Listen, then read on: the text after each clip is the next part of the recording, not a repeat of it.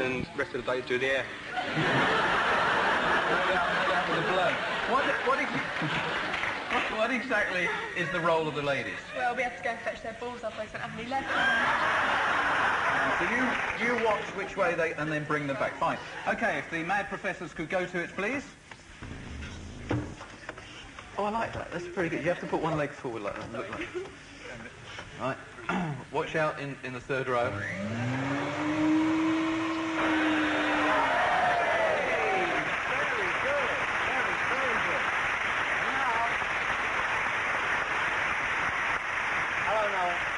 That's it. You must be Merlyn, I'm Merlyn, yes. or at least for a short spell you will be. Now, what is this? This doesn't look like a vacuum cleaner, Merlyn. Well, it is a vacuum cleaner. It's a spider. No, it's a vacuum cleaner. Underneath, it's just an ordinary bubble vacuum cleaner. Nothing untoward. I believe you.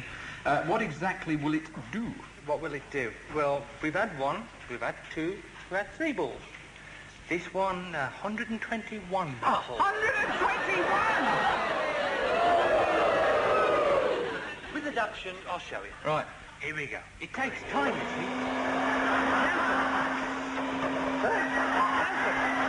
No, go, go. Come on, Spike. Oh, Jesus. 52.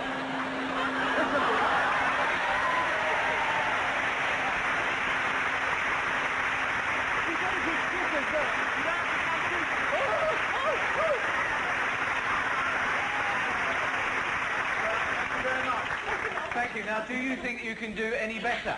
It's a reasonable question.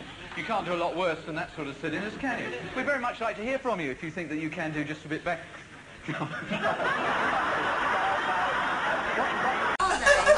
all, folks. Time to go home. Time for bed. Okay.